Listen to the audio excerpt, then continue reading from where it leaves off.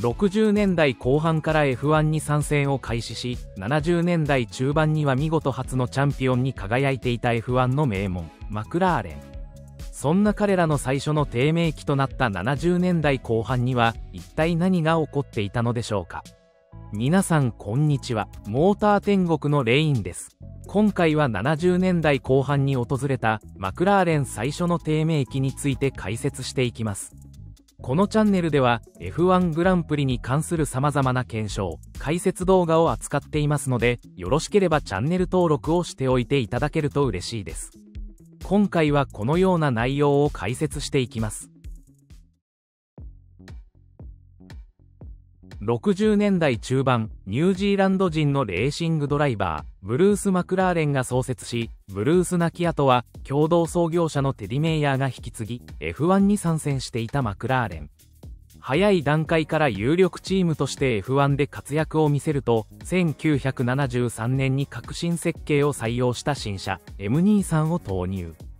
すると、1974年にはこの M23 を操ったエマーソン・フィッティパルディがドライバーズチャンピオンを獲得、マクラーレンもコンスストラクターズタイトルを手にし、見事 F1 で初のタイトルを獲得。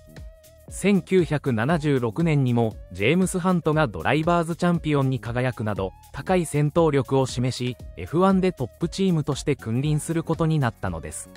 しかし M2 さんが数年にわたりトップレベルで活躍する名車であった反面その後継者の開発には苦労。1976年には M23 を生み出したゴードン・コパックが新車 M26 の開発を進めこの年からの投入を目指しましたが熟成不足からわずか1戦のみの出走にとどまりチームは M23 から脱却できず。翌1977年も序盤戦は M23 で走ったマクラーレンですがさすがに5シーズンにわたって使用された M23 では厳しい戦いを強いられるようになっており M26 の投入が待たれていたのです。M26 はノーメックスハニカム構造のモノコックを採用し従来のアルミモノコックから合成をアップ。しかし、サスペンション構造や一部の空力設計は M23 から引き継がれるなど、正常進化版といえる設計を採用。77年の序盤にようやく再投入のめどが立ち、第5戦スペイングランプリから段階的に投入されることになったのです。すると、この年はハントが第10戦イギリスグランプリでシーズン初勝利。M26 はハントの手によりこの年このレースを含め3勝を挙げ戦闘力を見せることに。翌年は再びチャンピオン争いに加わりたいところでした。しかしマクラーレンが M23 の後継者として M26 を熟成させるのに苦戦していた77年 F1 マシンは大幅に進化。この年、ロータスはマシンのフロアをウイング形状にし、路面との隙間を密閉することで、強烈なダウンフォースを発生するグラウンドエフェクト構造を採用した78を投入。この78が見せた驚異的な速さにライバルたちは驚愕し、その技術を真似ようと、多くのチームがグラウンドエフェクトカーの開発に着手していたのです。しかし、マクラーレンはこの頃、後継者としてグラウンドエフェクトを採用していない M27 の開発計画がすでにあり、77年のシーズン終了後には、その設計の一部を既存マシンに組み合わせ、テストも実施。チームは当初、78年中にこの M27 を投入する予定で開発を進めていたのです。しかし、グラウンドエフェクトカーの急速な台頭の流れを見たチームは、この構造を非搭載のマシンでは太刀打ちできないと考え、M27 の開発計画を中止。代わってグラウンドエフェクト構造を採用した M28 の開発がスタートすることになりましたが、開発が完全に遅れたマクラーレンは、78年シーズンを M26 で戦わざるを得ない状況になったのです。こうした計画のもたつきも影響し78年のマクラーレンは低迷のシーズンに。この年はハントが第9戦フランスグランプリで3位表彰台を獲得したものの結局これがこの年唯一の表彰台に。チームは中盤戦で M26 にグラウンドエフェクト効果をもたらす新設計のサイドポットを組み合わせた M26E を投入していましたがもともとの設計とのバランスが悪く有効なパフォーマンスを見せることはできていなかったのです。結局チームは1971年以来7シーズンぶりの未勝利に終わりコンストラクターズランキング8位と低迷することになりました。しかしそんな中1979年に向けては新車としてマクラーレン初の完全グラウンドエフェクトカー M28 が完成。マシンはモノコックに M26 から開発を続けるノーメックスハニカムを採用して細身のモノコック設計を実現。これにより、サイドポット下のグラウンドエフェクト構造をより大きくすることができ、78年に圧倒的速さでチャンピオンを獲得したロータスよりも、より大きなダウンフォースの発生を目指しました。79年のドライバーには、当初78年にチャンピオンシップを席巻していたロータスのロニー・ピーターソンと契約を済ませており、チームのエースとして迎え入れる予定でしたが、ピーターソンはこの年の第14戦、イタリアグランプリのアクシデントで他界。そのため、ドライバーはジョン・ワトソンとパトリック・タンベイのコンビで挑むことになったのです。こうして M28 で79年のシーズンに挑んだマクラーレンですが、この年も厳しい戦いを強いられることに。もともと前年までの M26 ではノーメックスハニカムモノコックが想定しているほどの合成が確保できないという問題に悩まされていましたがその問題を解決できないままより細身のモノコックである M28 を設計したことで問題は深刻化さらにより大きなグラウンドエフェクト効果を確保するため規定1杯までサイドポット幅を拡大した結果ドラッグと重量が大幅に増大。グラウンドエフェクト効果よりもこれらの問題によるデメリットが大きくなってしまいマシンのパフォーマンスは上がらず。この年の開幕戦アルゼンチングランプリではワトソンが3位表彰台を獲得したもののその後は入賞を争うのが精一杯の厳しい戦いが続きチームは前年に引き続き低迷。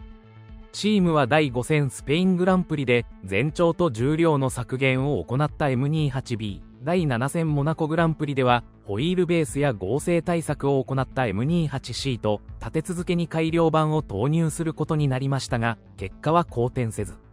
チームは M28 を早々に諦めシーズン中に新車 M29 を急遽開発して投入することを決めその完成が待たれることになったのです。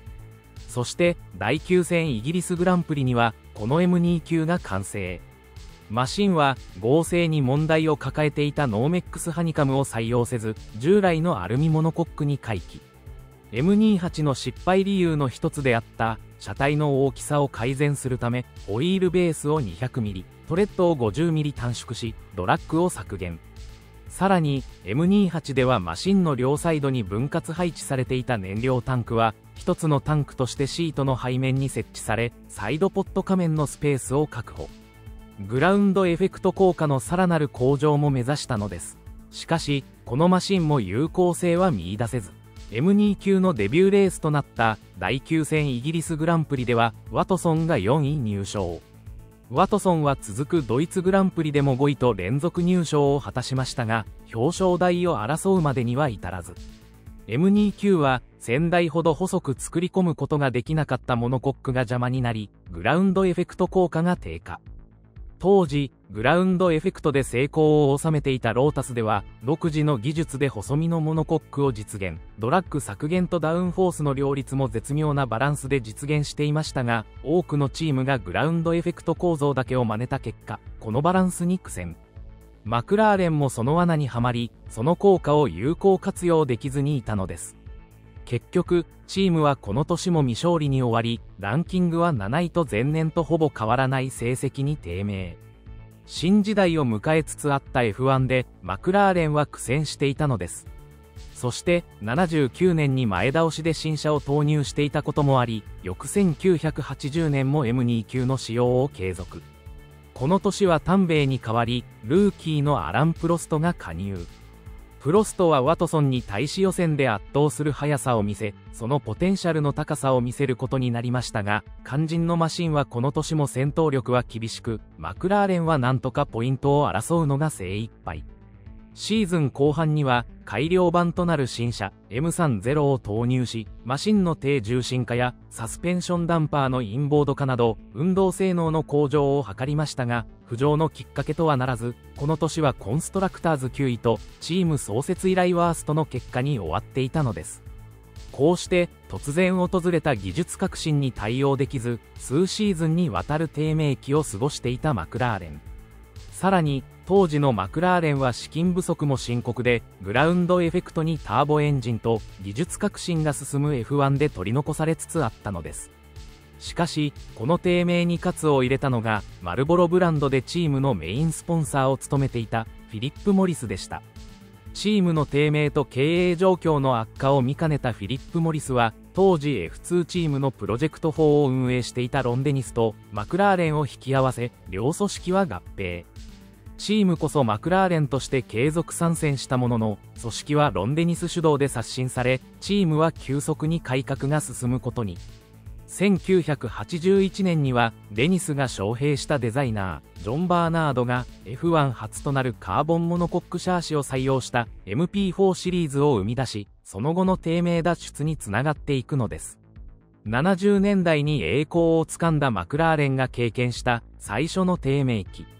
そこには技術革新に出遅れたチームの試行錯誤の歴史がありました。いかがだったでしょうか？今回は70年代後半のマクラーレンについて解説しました。このチャンネルでは F1 グランプリに関する様々な検証解説動画を扱っていますのでよろしければチャンネル登録をしておいていただけると嬉しいです。それでは今日はこの辺で。